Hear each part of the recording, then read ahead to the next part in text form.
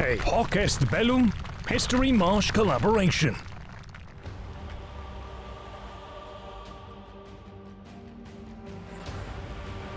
The year is 48 BCE. Julius Caesar is stationed at the city of Brundisium, waiting to cross the Adriatic Sea. He is after the Republican forces that retreated across the sea to Greece, led by his arch rival, Pompey Magnus. A pivotal conflict of ancient history was about to take place. And if ancient history documentaries are your thing, visit our friends over at Curiosity Stream, the perfect place for any history lover. A mini-series that has recently caught my attention is The Bronze Age. An excellent and detailed story about the rise of the Bronze Age across the world, the development of cities and trade in the Mediterranean and the Middle East, the wars of conquest between powerful kingdoms, and the ultimate collapse that followed. Curiosity Stream has a huge library of award winning history documentaries, which you can watch for just $3 a month. And they have much more than history. With over 2,500 videos in their library, Curiosity Stream is the world's first streaming service that addresses our lifelong need to learn, explore, and understand, built exclusively for documentaries.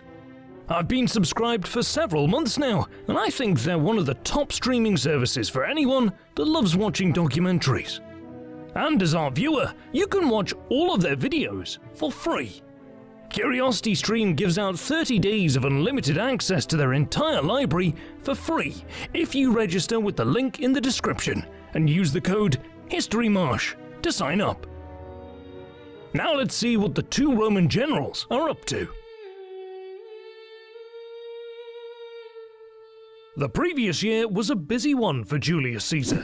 He had declared war on the Senate, marched on Rome, and proceeded to capture most of the Italian peninsula, constantly chasing after the Senate's forces.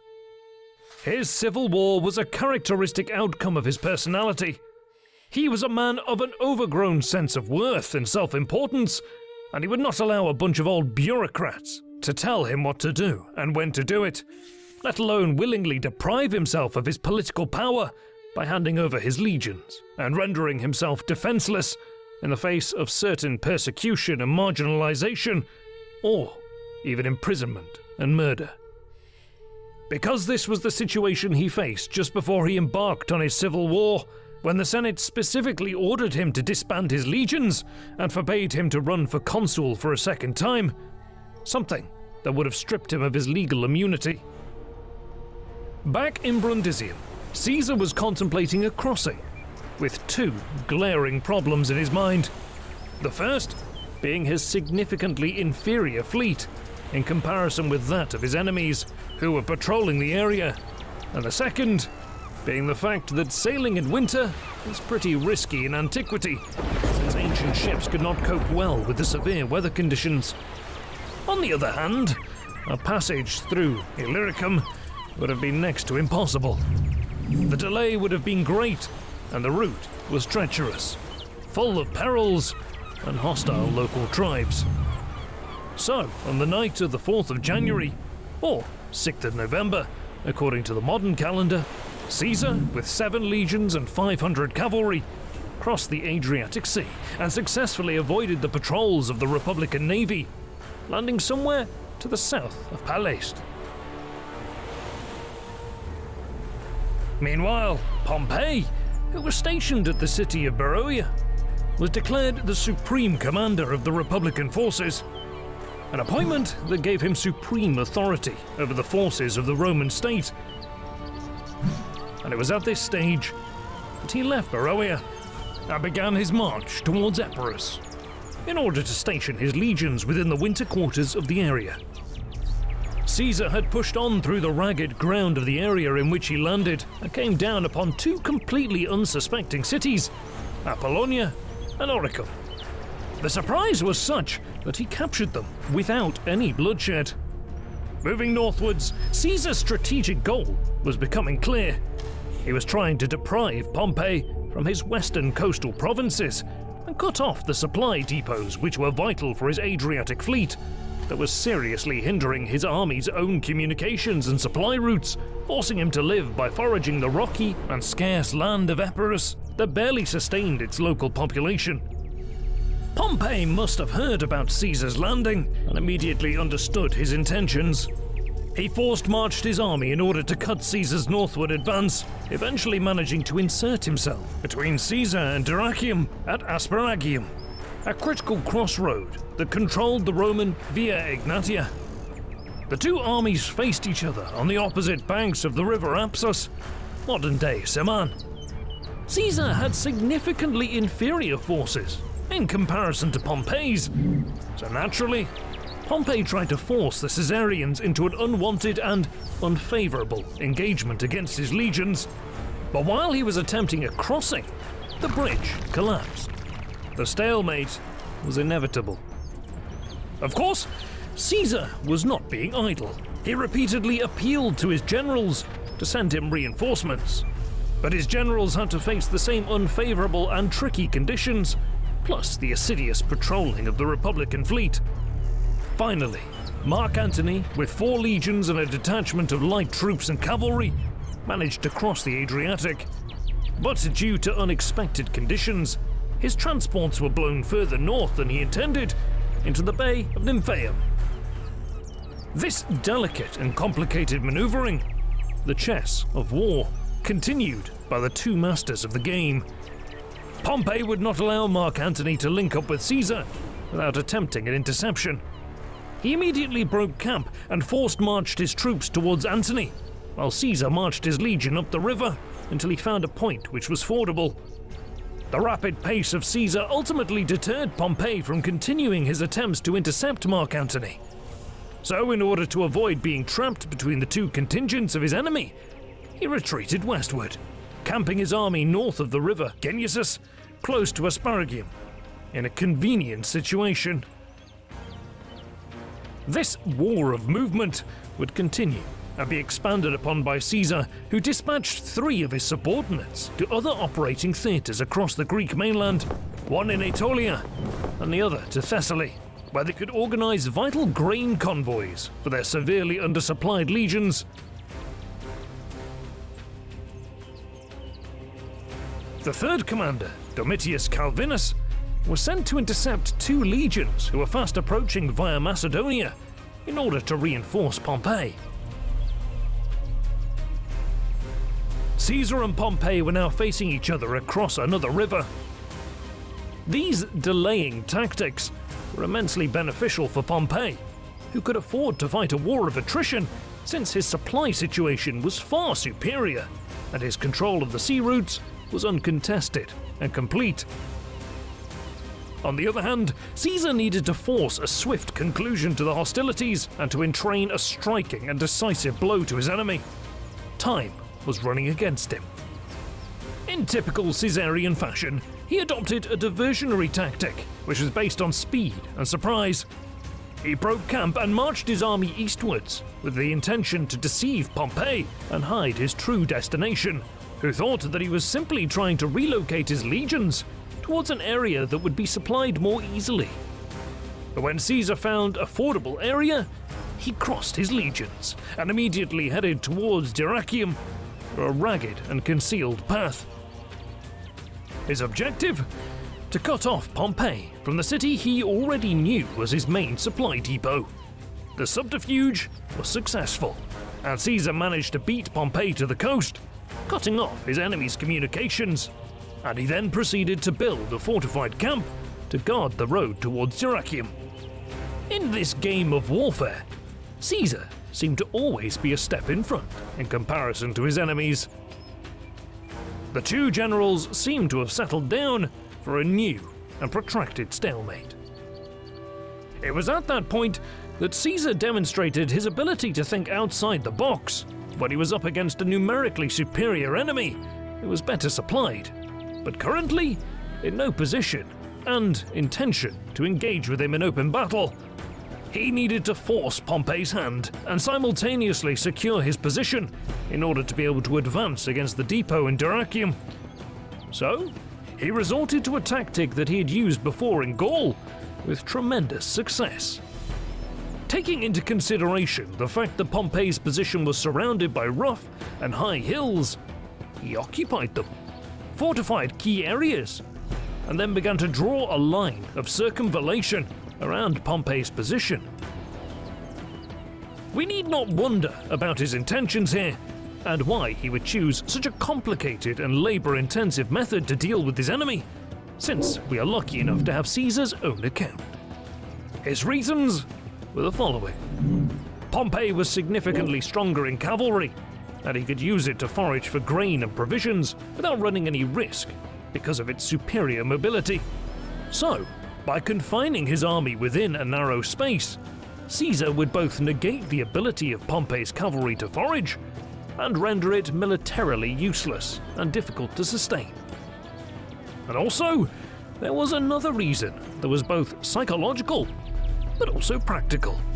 Pompey's reputation throughout the empire would suffer deeply if it became known that he was confined and besieged by Caesar while he did not dare to hazard a battle.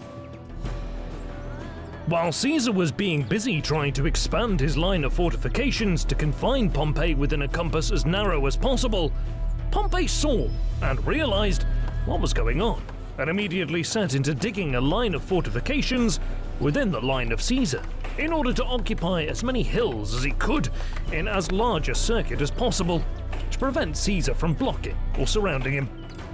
As a result, the two armies fought a series of skirmishes while they were contesting certain areas or hills. Even though Pompey was determined not to come to a general engagement, he nonetheless frequently sent light troops in order to harass the Caesarians. By the time the two armies completed their fortifications, Caesar's lines were stretched to 24 kilometers, and Pompey's lines were stretched just under 13 kilometers. Even though Pompey managed to finish them first, since he had greater manpower and a smaller compass to enclose. The two generals faced completely opposite situations now. Caesar was attempting to enclose a well supplied and larger army with a smaller and thinly stretched one, while Pompey was hemmed in within an enclosed area without being able to maneuver or arrange his army as he saw fit. Pompey's large cavalry force and pack animals meant that the fodder was running out quickly, and soon his horses would be out of the battle, even though his ships were supplying him daily. Plus, there was a water shortage, since Caesar had diverted the course of every river or stream that was running through Pompey's lines. The sporadic skirmishing did not cease, especially at night, during which the Pompeians were frequently emerging from their trenches to pepper with arrows areas that were lighted by fires of Caesarians who were on guard. After a while, the Caesarians were accustomed to this and learned to light their fires at one place and keep guard at another. By the beginning of June, Pompey needed to break the stalemate. He somehow misinformed Caesar to believe there was a faction within Dyrrachium and was ready to surrender the city to him. Caesar, with a detachment, marched towards Dyrrachium, but fell straight into a Pompeian ambush. Attacked from three sides simultaneously, he was forced to conduct an orderly retreat. At the same time, Pompey launched an all out assault across Caesar's line of fortifications. It was a magnificent plan, and it probably would have worked if he wasn't up against an army of grizzled veterans who were defending well entrenched positions on favourable ground. The Caesarians held until their general managed to return unharmed back to their lines. The whole struggle was desperate, as Caesar admits, even though his legions suffered superficial losses 20 men in comparison with Pompey's 2,000. In one fort, they counted 30,000 arrows which had been thrown, and in the shield of one centurion were found 230 holes. Caesar would attempt to force a battle every single day afterward. He drew up his army on a level ground and offered Pompey battle, being careful to advance his legionaries just before the range of Pompey's siege engines and light troops. Pompey would try to save face and withdraw his legions within the range of his siege engines and light troops in front of his fortifications, but so close to them that his rear line would almost touch the rampart. At some point, something unexpected happened. two officers of Caesar's Gallic cavalry defected to Pompey and informed him of a certain weak position in Caesar's fortifications. At the southern end of his entrenched lines of ramparts, there was a gap and a place that wasn't connected with a transverse line between them. Pompey decided to strike there, and he would initiate what would prove to be the decisive engagement of the battle. At dusk on July 9th, Pompey prepared an amphibious assault against the vulnerable position of the Caesarian fortification. He boarded a multitude of light and missile troops on board light galleys and attacked the position from three sides simultaneously. Backing this assault were six legions, who managed to dislodge the defenders who were scattered and fled, facing overwhelming odds. The rest of the Caesarian army was alarmed by the system of smoke that was established for just such occasions. Mark Antony, followed by Caesar himself, arrived at the scene after a while. In between the now contested double ramparts and the Pompeian line of fortifications, there was an abandoned camp, which was now occupied by the Pompeian assailants, which they expanded by adding an outer rampart, and in addition, Pompey had ordered the construction of a new camp outside the Caesarian enclosure. Seeing this, Caesar realized that he needed to act rapidly if he wanted to stop his opponent from securing and fortifying an opening from his enclosure from which his cavalry could easily forage and find fodder. He secretly gathered 33 cohorts, arranged them in two columns, and charged the fortified position of his enemy. The left wing of his attack column fell upon the unsuspecting Pompeians and managed to push them back, but the right wing followed along an extended palisade, which led towards the river Lesnikia. That delay was crucial for the outcome of the engagement. After a while, they realized that the palisade was not an extension of the fortified camp, and they broke through within the narrow space between the camp and the river. Pompey, seeing the critical situation his army was facing, gathered five legions from the outer camp and immediately sent them to relieve his cornered defenders, ordering his cavalry to charge head on the right wing of the Caesarian attack column while it was squeezing itself through the leveled palisades. The Caesarian cavalry, which was the first to break through the palisade, noticed the significantly stronger Pompeian cavalry charging straight towards them. Fearing they were going to be trapped between the palisades and the camp, they broke and fled. The panic spread to the infantry, and soon the right wing of the Caesarians was routed. The left wing, that was being successful up until that point, noticed what was happening, and fearing that it would be overwhelmed, broke and fled also. This cascade of panic was the critical point of the battle, Caesar's legionaries were crushed and squeezed through the choke points from which they came. The first legionaries who fell down a 10 feet high ditch were trampled to death, and the rest fled for their lives.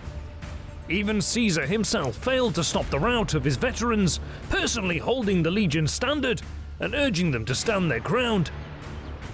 According to Appian, the panic was so widespread that one signifer inverted his standard and tried to kill Caesar with it. A legionary from his German bodyguards was there and sliced off his hand, thus saving the general and changing the course of history.